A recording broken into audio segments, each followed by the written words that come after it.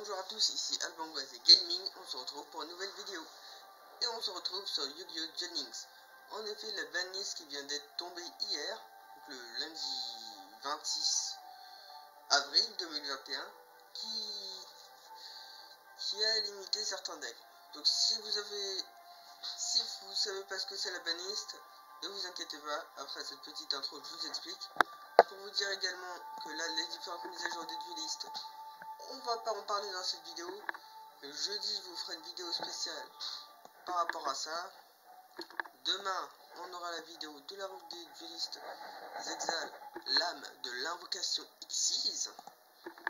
Peut-être avec de d'autres nouveaux supports ZW que je vous ai déjà parlé dans une de mes vidéos. Et demain, on passera également la phase 30. Là, vous voyez, il me reste plus que 5 duels. Donc, je ferai hors vidéo et ensemble on passera à la phase niveau 30 et avec la petite animation. Et, tac, et là, du coup, on va passer à la banliste des cartes et des compétences. C'est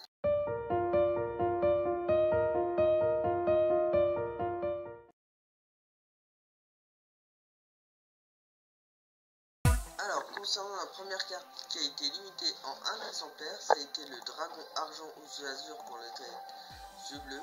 Puisque, en effet, le dragon azur c'est un effet combo avec l'esprit des dragons aux yeux bleus. Que quand elle est ciblée par un effet, on va utiliser son deuxième effet pour invoquer spécialement cette carte. Et donc, dorénavant, on va vouloir se passer de la mélodie.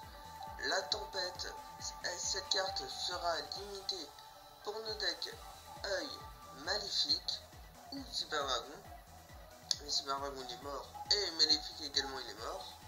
Ce deck il ne sera plus jouable, mais on va voir par la suite. Qui nous permet d'envoyer autant de cartes magiques pièges qu'on contrôle que possible au cimetière pour détruire un même nombre. Bon, Ascalon était relimité à 2, donc on peut bannir un monstre à l'unité d'adversaire donc pour le bannir. Et quand les détruit on peut invoquer spécialement un de nos monstres de première attaque tout ça puisque le Sénat il n'est plus dans la liste des cartes qui ont été bannies qui va nous permettre d'aller récupérer un monstre de type dragon en une carte limitée à deux les aides de la fusion cybernétique pour bien tuer le deck cyber dragon qui nous permettait, qui permettait aux joueurs cyber dragon de faire la fusion en utilisant leur carte de cimetière. La sœur Gagaga pour empêcher d'aller chercher donc comme par exemple Gagaga Bolt, on ne me rappelle plus son nom en français. Ah oui, on peut plus jouer des la fusion cybernétique puisqu'on a les cybernetic overflow. Le trône également, on peut plus jouer donc. C'est avec la combinaison du sceptre qui était utilisable dans, et qui pouvait utiliser la victoire dans le deck Angéchu. Angéchu sanctifié pour annuler les effets. De même, le marque et l'oiseau ne peuvent pas être utilisés en x3. Le Mart, c'est pour encourager la diversité des cartes, donc son archétype est présent depuis trop longtemps.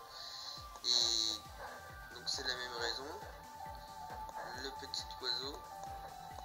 Ensuite, concernant la modification de certaines compétences, on va booster, regardez ma fusion, qui nous permet que quand les points de vie sont diminués de 1500, on renvoie une carte de la main pour ajouter la zone de connexion vitroïde.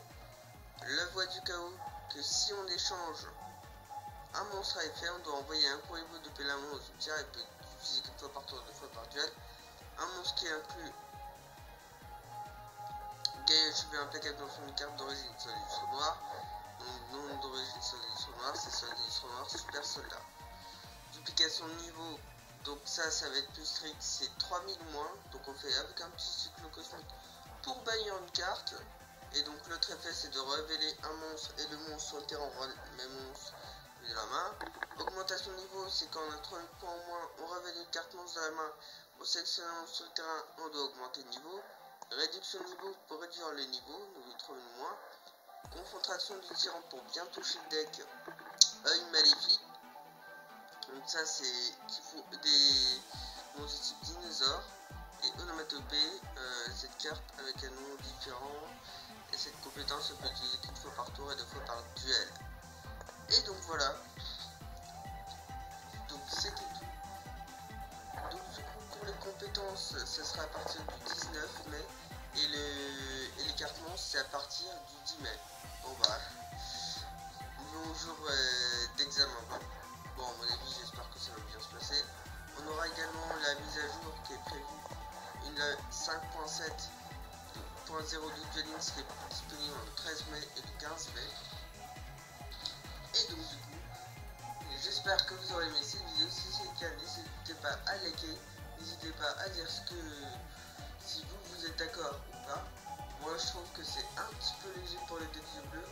Ça aurait été bien de plus les toucher vu qu'ils sont assez présents dans, dans le, le jeu de la méta actuelle. N'hésitez pas à activer la cloche et à vous abonner pour la prochaine vidéo qui va être encore une vidéo sur The. Ça va être peut-être vers 10h, c'est une maintenance, ça va être vers 10h avec le nouvel event de Yu-Gi-Oh! The la route des duelistes. Donc on va parler